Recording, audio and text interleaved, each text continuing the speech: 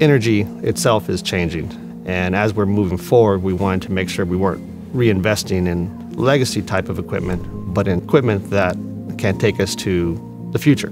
PGV Oil Tools makes downhole oil tools for the oil and gas industry. In 1983, my father started the company.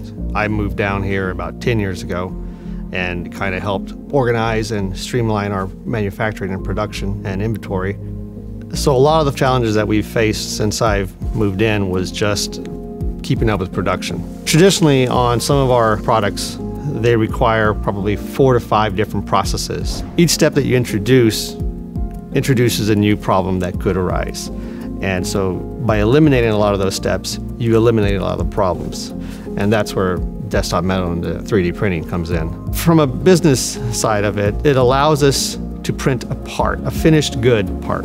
And that's what we're looking for. So by being able to print it, it really reduces our lead time on a lot of these parts, and especially legacy parts that you don't want to run 5,000 of. Uh, in those cases, it really impacts your inventory and the amount that you're going to have to spend on running the part. The environment that those tools have to withstand is a really harsh environment. And we've been sending these parts downhole for over a year now, and we've had zero problems with them. The old way of making the part would take us two to three weeks to complete that process. Now we can 3D print it and go from printing to cross-link oven to sintering furnace in three days. And there's a lot less waste from a material standpoint that we don't have to worry about.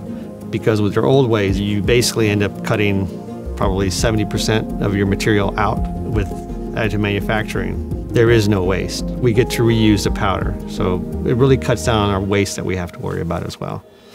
We could have chosen to just invest in more CNC lathes, more CNC mills. We chose to go the additive manufacturing route because energy is changing.